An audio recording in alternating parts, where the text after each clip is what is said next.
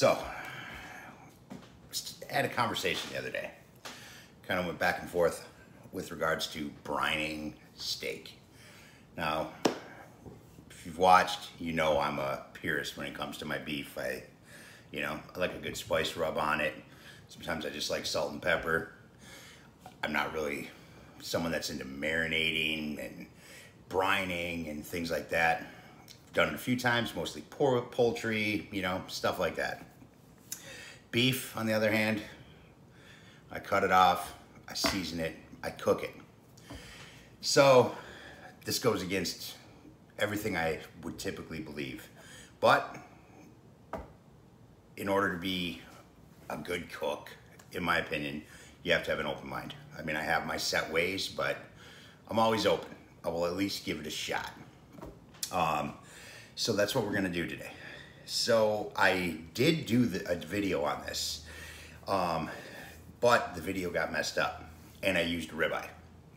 Um, so I'm gonna do it differently this time, uh, which, so I'm kind of actually glad that the video got screwed up.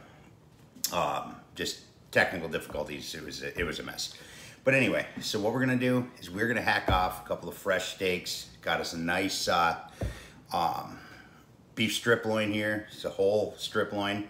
We're gonna cut off a nice um, two finger or so New York strip steaks. We're going to wet brine one of them. We're gonna dry brine one of them. And we are going to just cook one. Simple rub, simple everything. We're gonna keep the rub exactly the same, except for the fact on the regular steak, it will be the same rub, the same blend, except I'm going to be putting salt and salt in that one because you got to have salt. You know what I mean? Um, so, and we're gonna see what's up. I'm gonna do a little taste test here. Uh, gonna have my beautiful wife help me out doing a taste test she'll always tell me. Um, she'll tell me, no, that's shit. And uh, I can always trust her. So, let's do it. Here's our beautiful strip loin.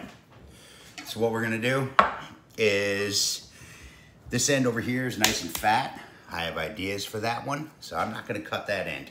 But we have nice end over here, this guy here, and we're gonna take just a couple of fingers off, you know what I mean? So, we're gonna go right down. I'm gonna leave this edge on it the way it is.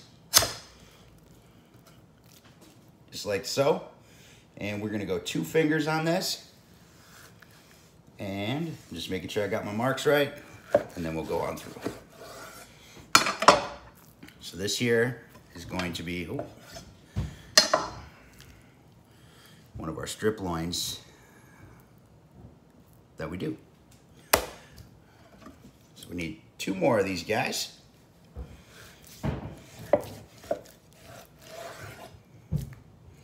Ooh, it's another nice one. And hey, no matter how this turns out, I get to eat some seriously good steak. That's all I know. So what could possibly go wrong, right? And that's that. So here we have even size, nice cuts. Ready to go. All right, so I'm gonna finish butchering this thing up and uh, get it vac sealed, and then we'll get back here. We'll make our wet brine, we'll make our dry brine, and I'm actually gonna put this in a bag as well, because typically I would just put it in the fridge. I'd open air it for a little bit, just to let it dry out. But I don't want the drying out, since the other two aren't, aren't really gonna be like that. I'm gonna keep try to keep it all even here. I'm gonna try to keep some type of control in it just to um, just to see. So we'll be back. All right, guys, here we are. So got the rest all butchered, vac sealed, and put in the freezer. So this is what we got. We got one strip, two strip,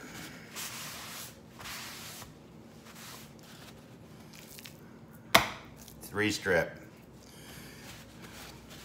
So, first off, I want to treat these just like I would any other time. So what I'm gonna do real quick is I'm just gonna do a little trimming. I don't want the fat off of this because they're New York strips. You gotta have that kind of stuff. But there is that stringy fat on the outside I don't want. So I want to just trim all that right off so I have that nice, beautiful, white, soft fat that'll all render. And New York strips, always break it. That tendon that's in there underneath that fat, when you cook your steak, especially like lower grade, you'll see them curl up. That's why. It's that fat tendon that tightens up, causes that steak to bowl, you know, bowl up on you. So, I always do it. Just, I just found it uh, the best thing to do. This little back corner here, he's gonna go to. The rest of that, I'll eat it.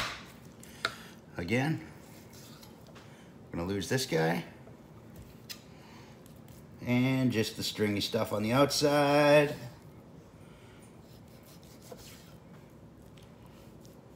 Ooh, got a little deep on that one. There we go.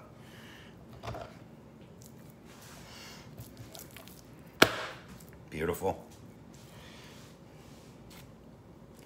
All right.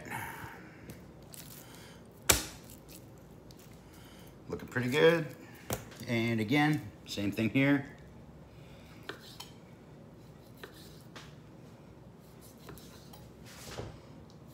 Just trim that guy right around, just like that.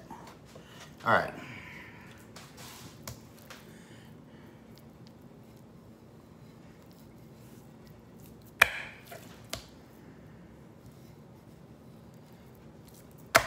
Beautiful. Okay. So here we got our strips. Now first, let's do our wet brine. Say it again, this goes against everything I believe, but in the name of science, and, you know, delicious steaks, man. I'm all for them, you know. I'm gonna use a Ziploc for this guy. And what I'm gonna do is I'm just gonna grab a bowl, which I already should have had out, but I don't. Because that would be preparedness. It's not really my deal. Now, this is probably going to affect the test, but I cannot, in my soul, put a steak in water. So I'm going to use beef stock. There's already some sodium in it. Uh, I'm sure it's gonna, you know, work for the flavor side of things, you know, but I just can't put a beautiful steak in water. Sorry, guys. So I'm gonna use some beef broth.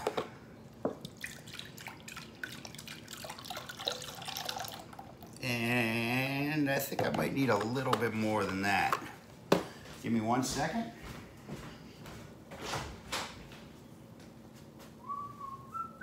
If I have any more.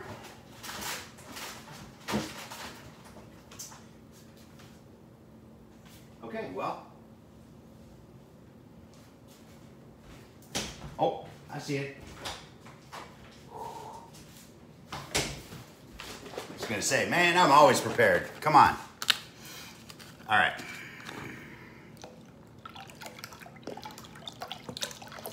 So, probably looking at about two cups. So I had about a half, yeah, maybe a little heavy on the two cups. now, typically, when I do any brining, I just use, I have some, I have an old box of kosher salt that I just, it's just been in the cupboard forever. But I don't think it tastes the same as my Maldon. So I am gonna use the Maldon for the brining just to try and keep things evil or even. And, uh, you know, because that's what I'm gonna be using on the rest of the steaks. So we got about two and a half cups there. And what I'm gonna do is put about a half cup. Oh man, this is painful, guys. Can't tell you how much this hurts me. A half cup of salt. Ouch. Ouch. And we're gonna give her a good mix. Just try to get that all in there. Make sure it's mixed up. Try to dissolve it. Flake will definitely dissolve much easier than any other type.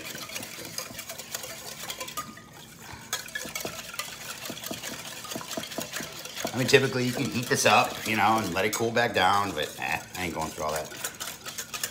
Just not doing it. Now, see, at this point, if this was all I was doing, I would be adding some garlic in here. I would be adding some thyme in here. But that's not what we're doing. I'm already, I feel like I'm skewing the test towards the flavor side of things just by using the beef stock. But as far as I'm concerned, there's no other choice. So that's what we're gonna do.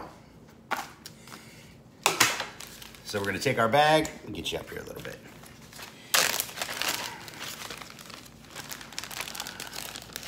Give her a little hat roll up here. And throw this guy in. Oh boy. See you, buddy. Such a beautiful steak. Either way, I'm gonna eat it. So, all right, now let's go on in.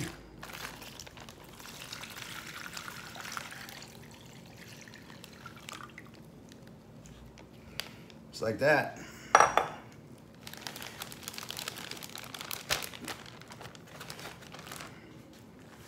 There we got our strip.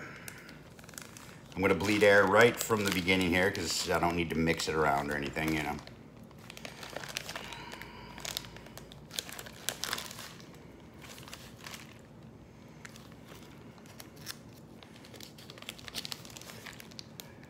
I do want air out of it, but I'm not gonna go through the whole getting a straw and things like that. I can push out enough. Like an old water bed. Remember those? And that was like, that was the shit, man. You were a king if you had a waterbed. So, all right, guys. Our wet brine. Now, the other two are cake. So what we're gonna do is I'm gonna use the same pan.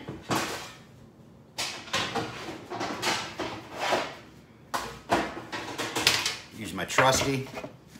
I know a lot of people use foil. I do not like putting my food on foil, man. I just, it's reactive. It's just, uh, it's probably more of a personal preference, but I'm just a parchment kind of guy, man. And my rack, like so. All right, so let's put these guys up here. And let me wipe that.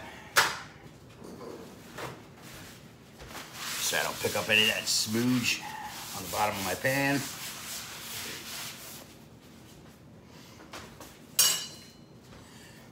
All right, so I thought about this actually, and I misspoke earlier.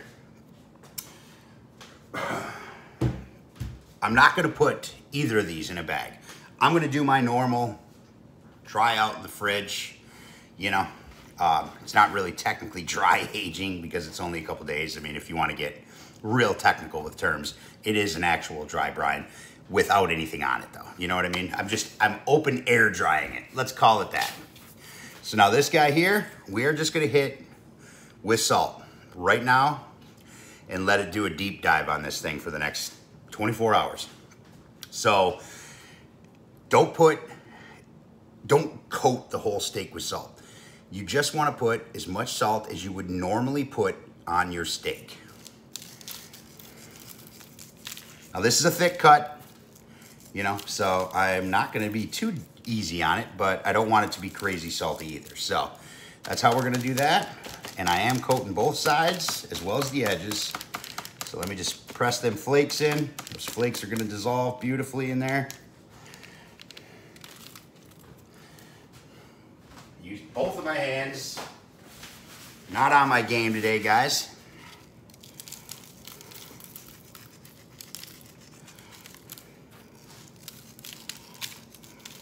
Just like so.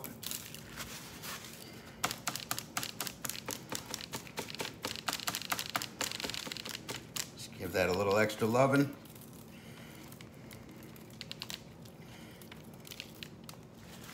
Let's get our edges. Make sure we get it all. Because the other edges are going to be exposed. The other edges in the dry, in the wet brine one, they're all wrapped around it. So let's try to keep this fair. And of course you want it on the fat cap, you know. Because that's living. Again, both my hands.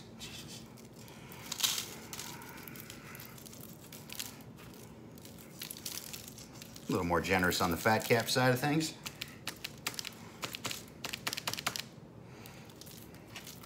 And that's that. There is our salted steak. Eh, let's put a little more right here just because I, I felt like it needed it. This one, I'm just gonna let her hang out. So, that's what we got. Get these up here. It's for a visual thing, you know, production value. Just like that. So we have our wet brine, straight up, dry, it just open air dry, and our dry brine. Into the fridge. That's it. I'd highly suggest if you do any of this stuff, like with me, I, I do this a lot. I'll, I'll put my steaks in the fridge. I'll just let them air dry. I've, I've let them air dry in the fridge for up to five days, man. But um, sometimes even longer. I would highly suggest though you at least have a thing of baking soda in there opened up. You know, otherwise it will start taking on flavors. You start pressing your luck, you start getting into that whole uh, food safety shit. You know what I mean? That kind of stuff. I haven't killed anybody yet, haven't made anybody sick yet, so you know, I got that going for me. But um, uh, either way, so that way it doesn't pull in any flavor if you got some something stinky in your fridge or whatever, you know, because it will. It will literally suck up flavor. So that's it. Going in the fridge. I'm gonna do just overnight. Um, that even bothers me. Uh, just going that long, but I want some. I want it to take. I mean, I know after four, five, six hours, there's already to be a difference. Um, just because from back in the day when I used to season things, you know, I'm like, yeah, you got to season that stuff early. Let all that stuff sweat into your meat, and then there's a certain there's a window of time that when you season your meat to when you cook it, there's a certain amount of time to where in a span you're drying your meat out and you're not helping the flavor. It's, you know, because all that moisture comes to the top of the meat. It pulls everything out and then it starts to suck back in. So if you don't give it the chance to suck back in, all you did was pull all the moisture out of your meat and you will dry it out like crazy, man. So, and not the good kind of dry. Uh, just a flavorless, dry, not tender piece of meat. So, typically, I've noticed over four hours. You need at least that, or you season it before you before you put it on there. You know, I usually season it up. Takes about what 15, 20 minutes, something like that, for whatever pit you're using to heat up, whether it's the pellet, whether it's uh, you know wood, whatever you're doing. Whether it's just a straight up charcoal grill, you know, 15, 25 minutes somewhere in there. Toss them on there. But um, you pull it on, you put it on for an hour, you put it on for two hours, you're just not going to get the same results. That's just my personal experience, you know, and there's some science in that shit too. But um, it's, uh, you know, just doesn't work well. So, but I am to let these just go overnight and uh, we're to see what happens. So, here we go. Either way, we're eating steak. So, 24 hours later. Well, actually a little bit longer because I didn't take them out earlier. But this is what we got. Oh, Christ, the dogs. Here we have our salt brine. Here we have our straight up open air. And here we have our wet brine. Just took it out of the bag, patted it off. That's it. So, as you can see, the um, just open air definitely has like a more, you know, vibrant red. Where the salt brine definitely feels firmer. Darker red. And this one here, the wet brine, is actually, it doesn't look it, but it's very firm. And it, you know, looks gray.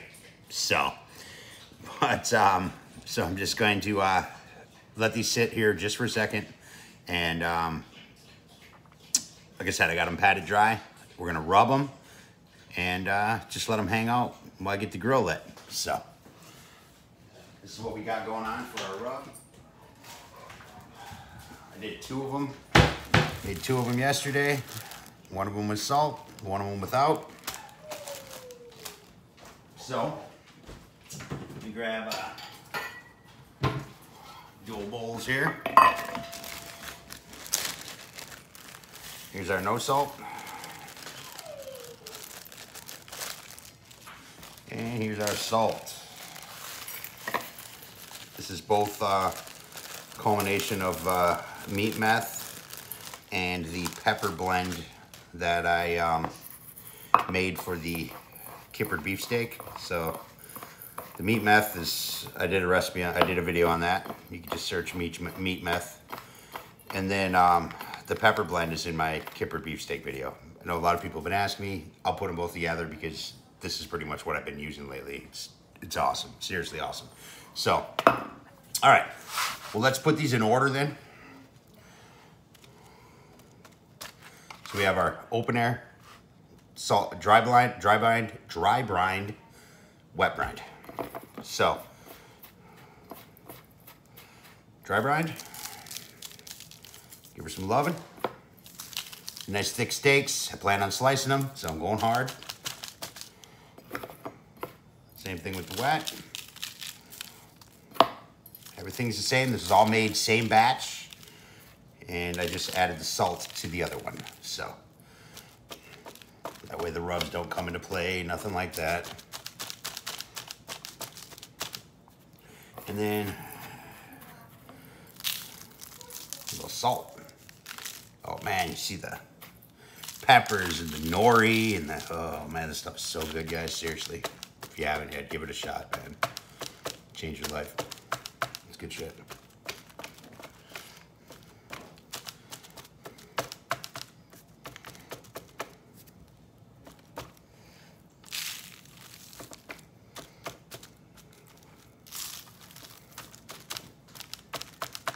Trying to keep it all on there. Don't have the time to let it sweat out, but it's just not to not playing my reindeer games for me. It's all right. I'll tack them with a little bit on the other side of the big stuff. All the small stuff stayed in, but the uh, a lot of the peppers and the nori and stuff did not. I could hear it, but that's what parchment paper's for. All right.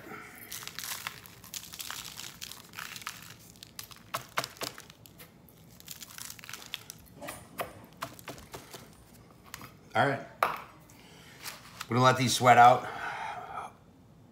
flip them over before, and then I can actually uh, hit the other side with a little bit of the fall off, you know what I mean? So, let's let, let, let them chill, and uh, I'm gonna go light the SmokeFire, 250, let her get up, and uh, we'll cook some steaks. Okay, so we're here, she's up at 250. A couple of things I just wanted to clarify real quick. I did not rinse them uh, because I don't feel there a need to. Um, I patted the wet one dry. The other one, I didn't encrust in salt. I didn't cake with salt. I gave it the proper amount of salt that I would have had I just been salting it to cook it. You know what I mean? So there's no reason to rinse, no reason to any of that stuff. So, um, all right. So we got our, I got three probes in this because I want to make sure. Normally, you know, I just cook my steaks, but I figured I'd keep the probes in just to make sure everything is done. I'm assuming only logically is that goddamn flies is that the um, uh, wet brine one is going to cook much faster um, than the standard open air, and I'm sure the salt brine would actually cook faster too, uh, just because everything's kind of opened up inside of the meat. You know, it loosens everything, so um, the meat is gonna it's just gonna cook faster. So I'm gonna keep an eye on them. but uh, I'm putting them all at the same time. So, first of all, we're gonna go with uh, probe one. That's gonna be our just our straight up steak. Probe two. Oh man, these fireboard probes get tangled up so bad. It's ridiculous, man. They're like headphone wires. All right, uh, number two. That's going to be our dry brine. And number three, if I can untangle it, is going to be our wet brine. So there we are. We're all starting off within 41 to 43 degrees. So let's do it.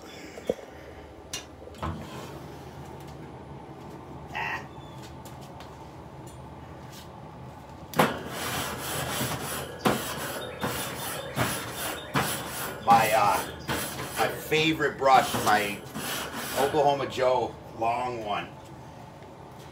Oh, it was a sad story, but it ended up breaking the thing it got slammed and it was it's it was just a whole mess. So I'm super, I'm I'm devastated. There was a moment of silence. So I do got to get a new one, but all right, here we go.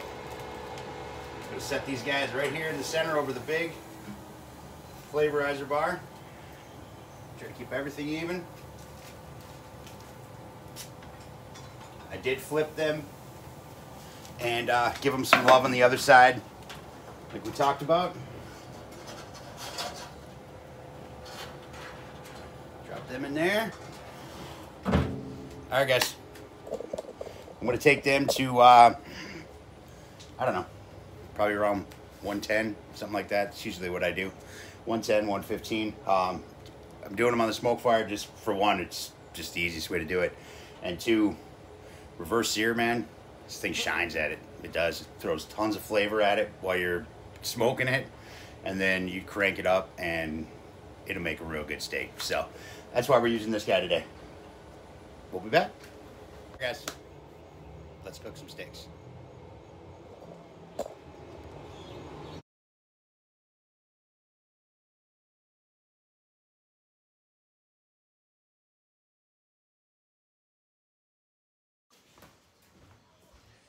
All right, guys, here we are. You can see the sticks. I'll point them out afterwards. We cannot. So, this is my beautiful wife, and she's going to taste with me. So, let's start with that one, babe. Do you want me to cut it? No. It's just been a little less than I'd like. Yeah, I know, but it probably looks like that. What am I testing? What it tastes like, tenderness, just overall steak experience, dear. Okay. Are you gonna eat that one? Yes. Okay.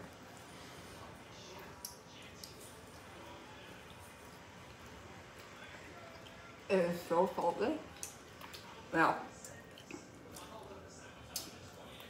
It is super salty. Oh my god. like crazy salty. I can't eat this. I'm sorry. It's meat, I don't waste it. Okay. Woo! Oh, It's like a salt lick. that's awful. All right, let's try this one, my dear. I feel like my taste buds are ruined. Yeah, we just totally toast our palates. All right, Okay. that's right. Here we go for science. Ooh.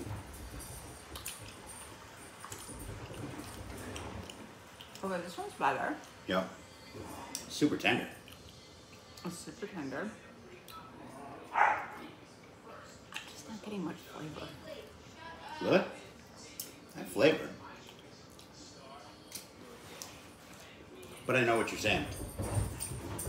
But you're not you you like your steak rubbed, you know. I mean, you're not a real big fan of just beef itself, you know. So Yeah, that was not bad. no, not bad.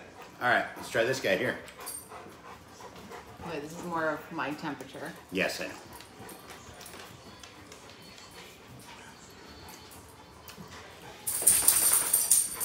Super tender. Oh man, see? That's got flavor all the way through. That's a good steak. One's super good. So I'll eat that one. You can have that first one. I'm not eating that. I can go in the garbage. You can give that to the dogs. That's a good steak. So, so this one's got a good crust. So, but the only the flavor is only in the crust. This one, the flavor is all the way through the meat. That one is garbage. Do you want to know what's funny? What? That is the wet brined one. I assumed it was going to be salty. I probably shouldn't have done 24 hours. But I didn't notice any other benefits. It was the toughest out of all of them. Yes. It, everything. This right here was the dry brined one.